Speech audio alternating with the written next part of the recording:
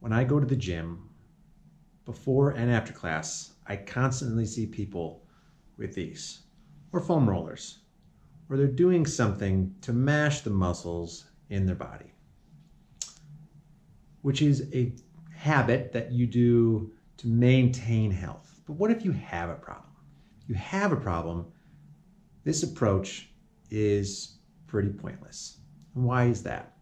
Because if their problem is adhesion, which is very likely since it is very common with overuse, especially in active populations, you need pressure, tension at the right depth and direction to break up adhesion.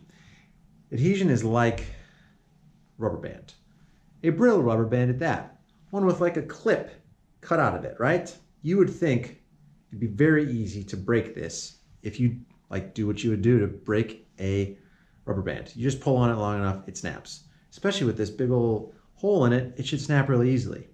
But what are you doing with the foam roller? You can press on it, but there's no tension. There's no direction, you're just rolling. So it's like you could you could take this onto here, roll on it. It's not going to break. You could drive a truck over this. It's not going to break.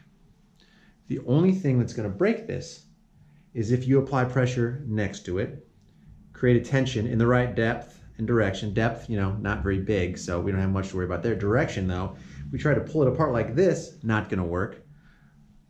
So I could either use my car or my foam roller or whatever and try to destroy it with pressure alone, which might temporarily buy you some some feel good time, but ultimately won't change a damn thing. Or you go to somebody like myself who can apply the right pressure and tension at the right depth and direction and actually break this thing.